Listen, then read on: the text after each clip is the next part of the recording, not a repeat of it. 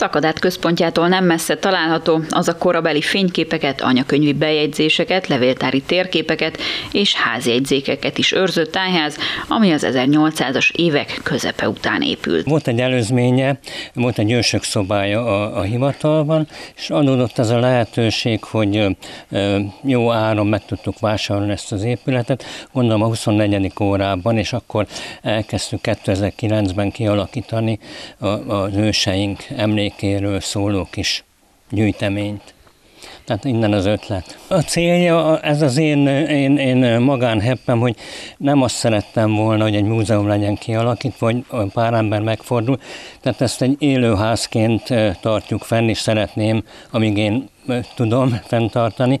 Tehát ez a, a, a településnek a kulturális centruma, egyik centruma, ahol, ahol a tavasztól, a disznóvágástól, a húsvéti nyuszi ünnepségig, családi rendezvényektől, tehát itt mindig történik valami.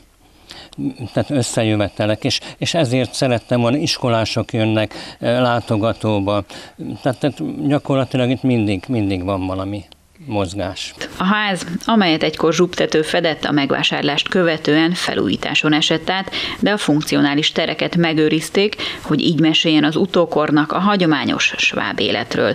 A munkálatokat elsősorban pályázati forrásból valósították meg akkoriban. Mindenképpen szerettünk volna mindent megtartani a régi formájában, tehát a régi hagyományokat, tehát mindent meghagytunk ugyanúgy.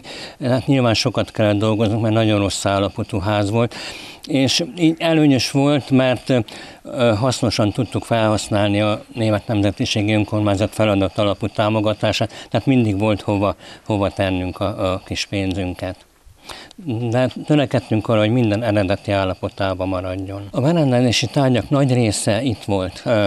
Ez a Héfner család, a Krémer Péter nagyszülei laktak itt, és a, a, a régi bútorokat meghagytuk, tehát nem sok mindent kellett pótolni, többnyire a, a régi eredeti 1900-as évek körüli 1907-es bútorok maradtak itt. A tájázat igyekeznek megtölteni programokkal, hogy az itt élő közösséget összetartsák. A rendezvények alkalmával pedig a tájnyelv is megelevenedhet. Az információs pultunkon, amit a Krémer Péter úr készített egy egy, egy szakadáti dialektusról egy, egy beszélő szótár, ami szerintem egyedülálló, és talán mi vagyunk még az utolsó mohikánok, akik még 300 éven keresztül megőriztük a, a mi nyelvjárásunkat, egy egyedi nyelvjárása van szakadátnak, és a Krémer Péter úr feltette a, az információs pultra is ezt a, a dialektust, tehát egy, egy, egy 500 szavas kifejezéses mondatokkal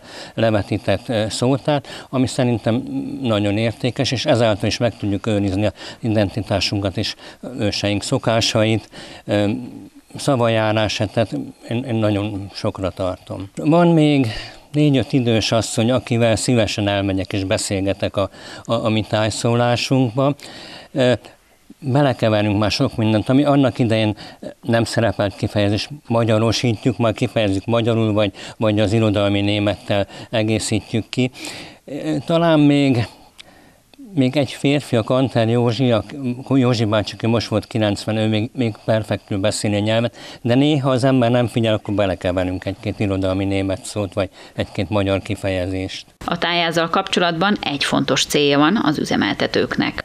Elsősorban fenntartani szeretnénk ezt a kis épületet, és, és ide szoktatni az embereket, fiatalságot elsősorban, hiszen én is nyugdíjas vagyok, ma is szeretném átadni, továbbadni a fiatalabb generációnak, hogy azért, amiért dolgoztunk, vagy őseink dolgoztak, ne menjen veszendőbe. A Szakadáti Tájház már 12 éve gyűjti, őrzi és adja tovább azt a hagyományt, ami a helyi svábságot jellemzi.